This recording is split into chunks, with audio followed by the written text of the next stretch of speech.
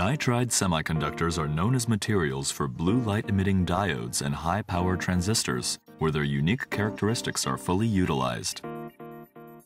Nowadays, electronic parts composed of the nitride semiconductors are common in your daily life. Researchers at NTT Basic Research Laboratories have succeeded in developing an innovative process for lifting the nitride thin film devices from substrates. This newly developed process, dubbed the MeTRe method, may further broaden the applicability of the nitride semiconductors. Gallium nitride is a typical nitride semiconductor. The gallium nitride-based thin film devices are fabricated by processing the thin films together with single crystalline substrates. The role of the substrate is to support the thin film devices during the fabrication process. Some potential applications of the thin film devices remain elusive due to the substrates. A typical thickness of the substrates is 100 times as large as that of the thin film devices, which deprive the devices of compactness and flexibility. If the thin film devices can be set apart from their host substrates and transferred onto any other substrates, the thin film devices may have a wider field of application. Considerable efforts have been put into the development of such detachment processes.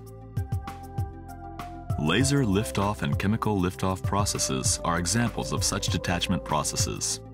However, these methods require either large-scale laser equipment or chemical processing using a large quantity of acid solutions. Another problem is that the detached thin film devices are not free from degradation. Here we show the newly developed process in the NTT Basic Research Laboratories. The newly developed process involves the growth of an extremely thin layer of boron nitride between a sapphire substrate and the gallium nitride-based semiconductor. The boron nitride will be a release layer. Unlike the other nitride semiconductors, boron nitride takes a layered structure, same as graphite, and hence is cleavable. We developed a technique of growing a high-quality layered boron nitride thin film on the substrate and also growing high-quality gallium nitride-based thin films on the boron nitride. With this technology, semiconductor devices can be transferred without any laser beam machining or chemical treatment, either of which is required for the conventional methods. The released gallium nitride-based semiconductor devices are substantially thinner, lighter, and more flexible than conventional devices due to the substrates.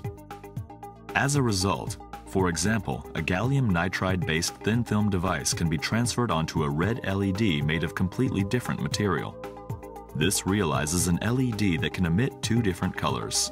An extremely thin LED can also be fabricated, which reduces the size of electrical components involving LEDs. The released gallium nitride-based semiconductor devices are transparent and ultraviolet sensitive. In addition, the newly developed process allows for less expensive yet more scalable processing. Accordingly, using this process, a window-attached gallium nitride-based solar cell is a promising future application, as it can cut out hazardous UV light while generating power.